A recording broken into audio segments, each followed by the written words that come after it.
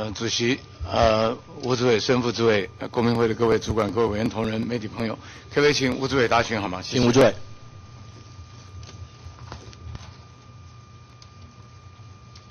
丁委你好，吴主委您好啊，吴主委，这个本席非常高兴啊，就在去年完成的修法的这个四十一条啊，这个罚销售额的十分之一，是呃，本席所提案的。另外一个是三十五条之一啊，就是所谓的宽恕政策窝里反条款啊，在这次公平会在对待这些呃九家民营电厂违反这个这个这个这个售价太高的时候都用得上啊。是是那我想请问呢、这个你才罚了六十三点二亿啊，是为什么不罚十分之一呢？只罚百分之五而已。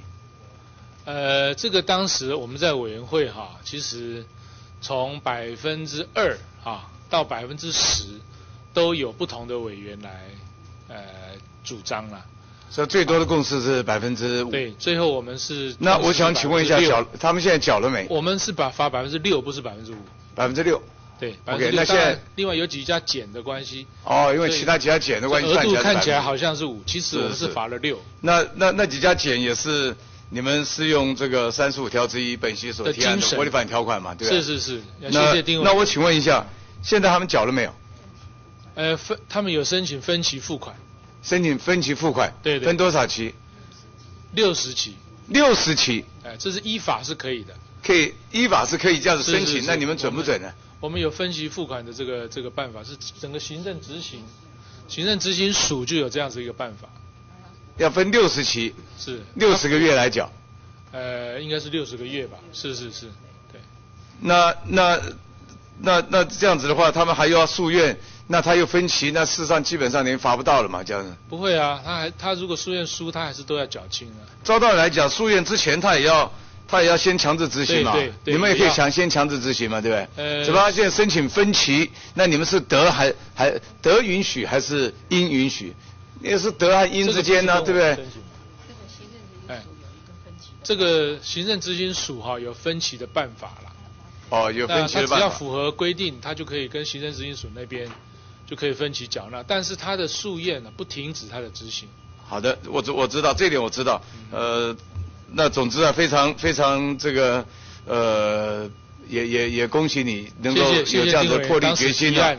啊给我们这个工具啊。是，那本席另外一个提案也给你们工具啊，就是有关于二十七条之二，就是赋予你们公平会啊有这个搜索扣押之权呢、是是是那现在你们有没有进行强烈的协调？这个这个当初好像有一点法务部好像有一点本位主义，现在他们也不反对了嘛？后来对我们后来在行政院里，我们呃积极的争取哈。那在院里面也最后得到行政院的这个支持支持。现在在我们地法院已经通过了，所以说我们在这边也请教这个跟主席啊，这个主席啊，黄主席。又吃东西又看报纸，不不专心。主席啊，现在这个案子我们的通过，唯一反对是民进党。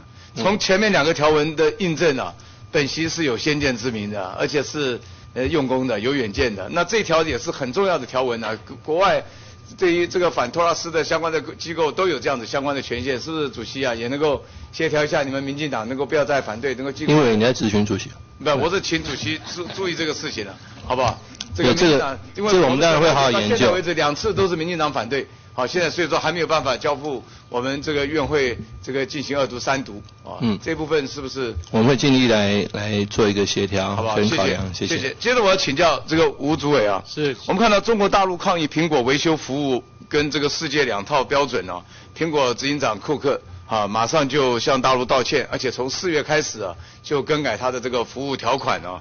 但是我们看到苹果对于台湾的这个维修服务更不公平啊。那 Apple 的产品硬体虽然是一年啊这个所谓的保固啊，但是除非你的产品是在买的当下哈、拆封的时候发生有瑕疵啊损坏，你才能够更换。你只要一带走了。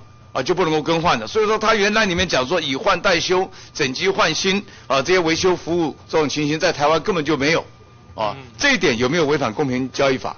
嗯，这一点的话，我目前想初步来看哈，呃，因为公平法是国内法嘛，哈，国内法，呃，我们公平法上是有一个差别待遇，对啊，差别待遇啊还有标商品标示不实也是啊。你可以看到这个有关于二十一条在商品或其广告上为虚伪不实、引人错误之表示或表征，啊，这个都是商品标识。那他这个里面他讲说有他的维修是是整机换新、以换代修，是是是那他显然在台湾没有嘛？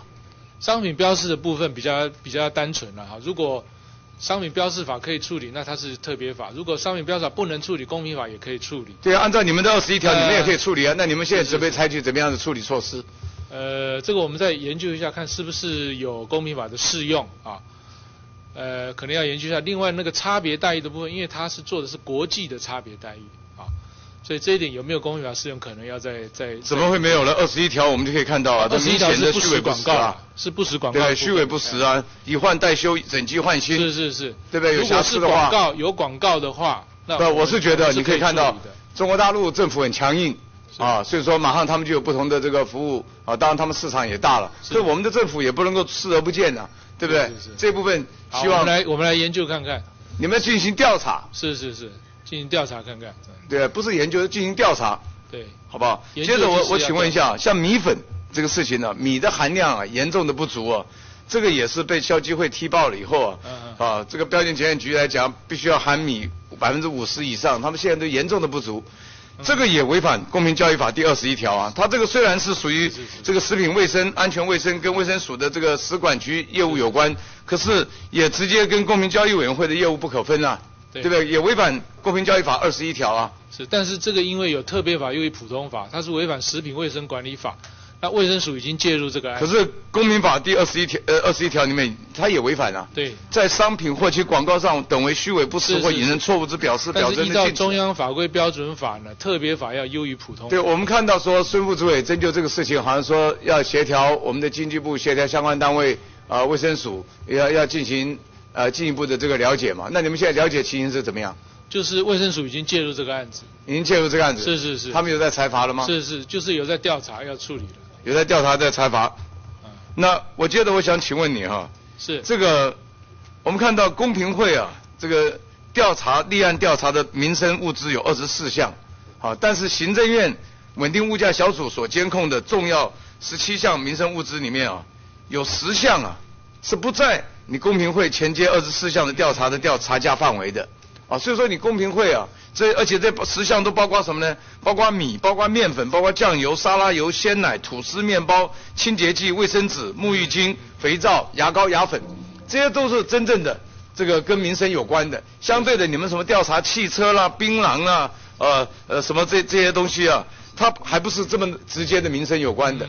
难怪你们的查价的结果说民生有没有涨价，跟民众的这个认知啊有落差。像现在李锦记这个蒜蓉辣椒酱，以前八九十块钱一罐，现在一百二十多块钱一罐。嗯嗯嗯，像这些都是重都是民生物资啊，对不对？那这些我们刚刚所讲的，你们你们的查价的的民生物资跟行政院稳定物价小组所监控的十七项重要民生物资不同，嗯嗯而且那些重要民生物资不在你们的查价范围里面，你们去查槟榔的价格，谁每天吃槟榔啊？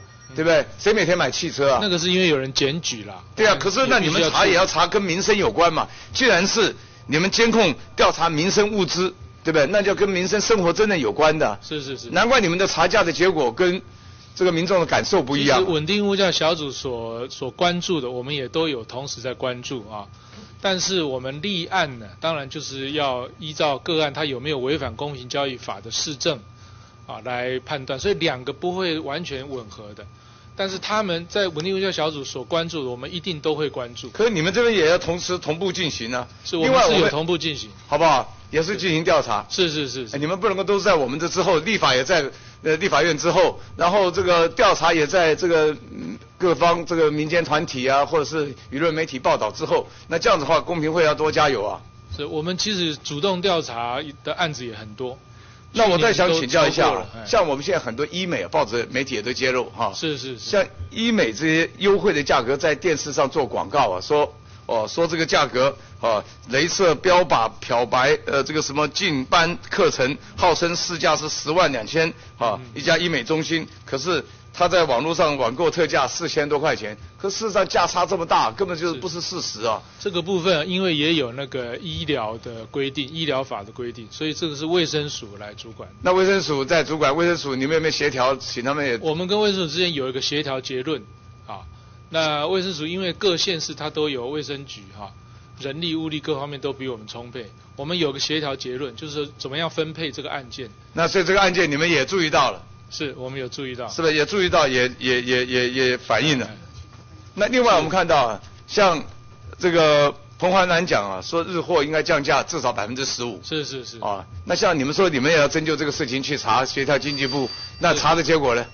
呃，这个案子我们是有去去调查哈，然后也有去了解。有没有那这些像这些化妆品啊，像这些汽车业啊，有没有联合这个相对的这个不不降价？呃，我们曾经向哈这个案子这个呃彭呃这个彭总裁讲了之后，我们特别向譬如说化妆品、汽车、电器、衣物等等，我们都有去了解哈。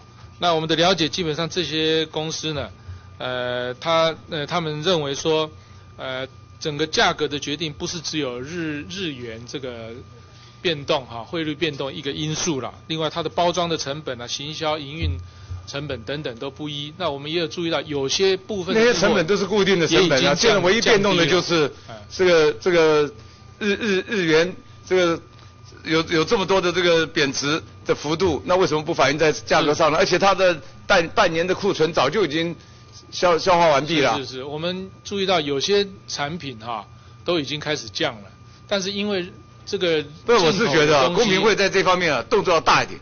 去约谈这个调查的时候啊，也跟厂商讲，有本席所提的三十五条之一啊，窝里反条款啊，他如果坦白从宽啊，就可以宽恕啊。那这样子的话，说不定更有助于破获这个他们这个联合啊不降价的这种行为啊，是我们对我们未来在宣誓的时候可以特别强调这一点。好不好？在这方面真的公民会啊强势一点啊，这个这个我们立法院都走在前面，然后媒体这个消消消保团体都走在前面，那我们反映出来的事情，希望诸位啊强势一点，好不好？好，谢谢。谢谢谢谢金委。